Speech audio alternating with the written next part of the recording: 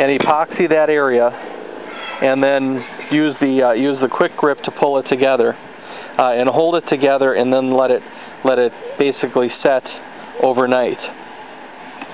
Um, because of time of this this video, I'm not going to be able to go over all the details and show you, but I'll put a few pictures of the final product up a little bit later.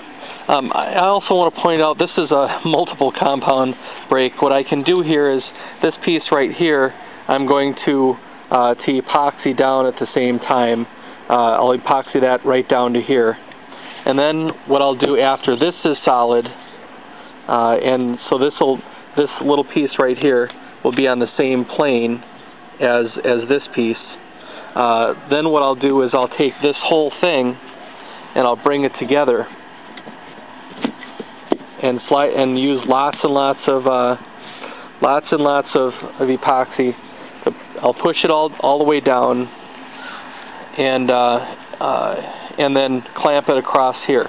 Now this seems to be the the best uh, the best area, one of the best areas to hit it to uh, uh, to clamp or hurl.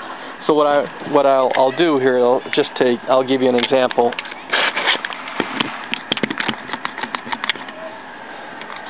Um, what I'll what I'll end up doing is basically clamping it right down here, and that'll hold it tight.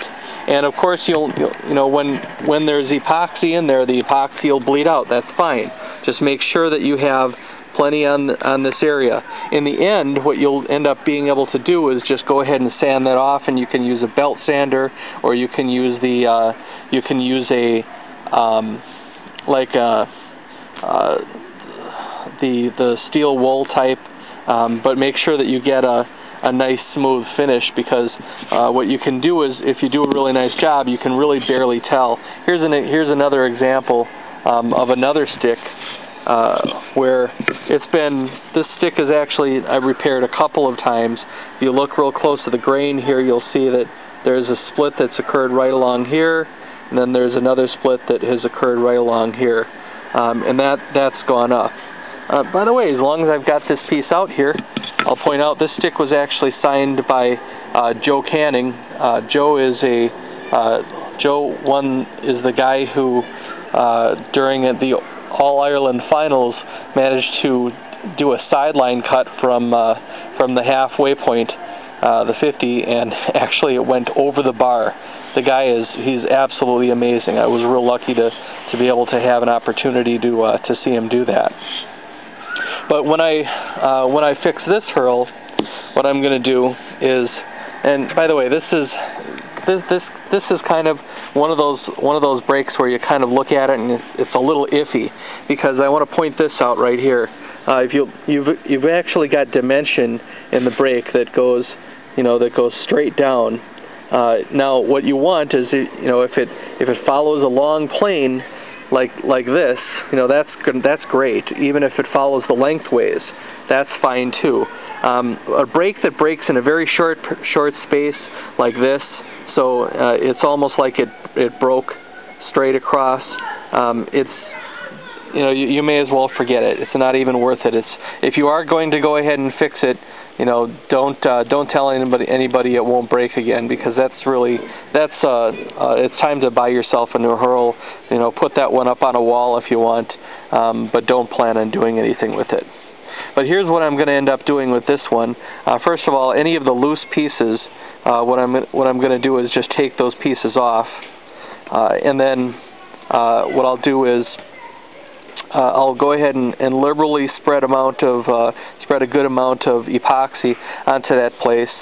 I'm going to lay it down, but you'll notice here because because of this area um, that it's going to be very difficult uh, to get this area to mate up with this area right here. Okay, so what I'm actually going to do when I do this is I'm going to put it down, and then I'm going to actually take a uh, uh, take it. Um, hold it hold it down lightly with uh, with a couple couple little clamps, and then take a take the uh, the boss, set it down on the ground, and then take a little uh, mallet and pop it pop it on the top, uh, in order to to force these two pieces together because I've really got almost a quarter inch here uh, that is that is really going to be a problem if I don't get those to uh, to mate up real well. Um, the other thing that you that you'll sometimes need to do is uh, uh, is, is keep in mind your, the different planes. Uh, for instance, you know I've got this I've got this one all clamped up nice, uh, but the other thing that will sometimes happen is that you know if you've got it clamped real tight here in your vise or between your clamps, sometimes you'll uh, you'll get a slip in the uh, in the horizontal uh, in the uh, in this in this other face. And what you can do there is I've actually uh, had a great deal of success just taking a piece of wax paper um, and then put because this is going to be all you know the the epoxy is going to be bleeding out here. Take a piece of wax paper, put it over there, and then and then just take your clamp